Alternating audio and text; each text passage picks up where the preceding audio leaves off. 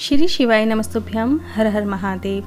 2 अगस्त को है श्रावण का मंगलवार और तिथि है श्रावण शुक्ल पंचमी। साथ में नाग पंचमी भी है मतलब काफ़ी अच्छे योग बन रहे हैं और इस दिन के तीन विशेष उपाय आपको वीडियो में बता रहे हैं, जो आपको सिर्फ़ 2 अगस्त को करना है मतलब कल के दिन करना है।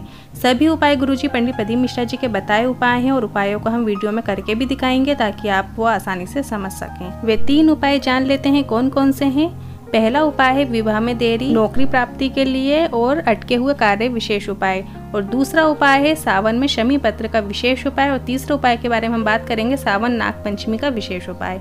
ये तीन उपाय जैसे कि आपको पता है, सावन में की गई पूजा, अर्चना का फल आपको हज़ारों लाखों गुना होकर प्राप्त होता है और ऐसे में एक मंगलवार का विशेष उपाय है तो आपको इस सावन के मंगलवार को करना ही है। ये धतूरे को फोड़ने वाला उपाय है। ये उपाय गुरुजी ने नवग्रह शिव महाप्राण में बताया था, जो कि हैदराबाद में हुई थी। अगर आपके विवाह में देरी हो रही है, मंगल दोष या फिर किसी भी कारण से शादी में देरी देखने को मिल रही है, सरकारी नौकरी या प्राइवेट नौकरी भी नहीं मिल रही है। कोई कार्य आप चाहते हैं कि हो जाए पर हो ही नहीं पा रहा है तो इस उपाय को ज़रूर करें। आपको एक धतूरा लेना है और इस धतूरे को फोड़ लेना है। इसके अंदर का जो फल है, वो शिवलिंग पर अर्पित कर देना है। आप इस धतूरे को फोड़ने के लिए किसी भी प्रकार से फोड़ सकते हैं। हमने चाकू का उपयोग किया है, इसको बीच से कट कर दिया है और धतूरे के अंदर का फल निकाल लिया है।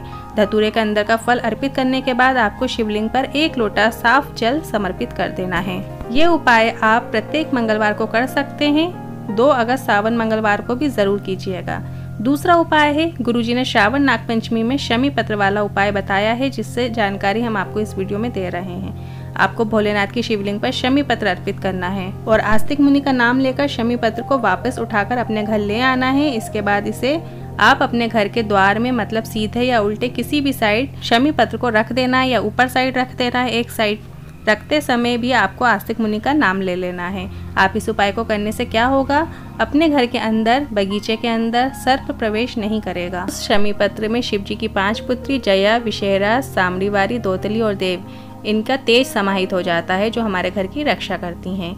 तीसरा उपाय है ये उपाय की जानकारी गुरुजी ने 16 जुलाई सावन शिव महापुराण कथा में दी है। आपको बस इतना करना है, दो लोटे मतलब कलश में जल भरकर शिवलिंग पर कावड़ की तरह अर्पित कर देना है। ये उपाय आपको सावन नाग पंचमी को अर्पित करना है।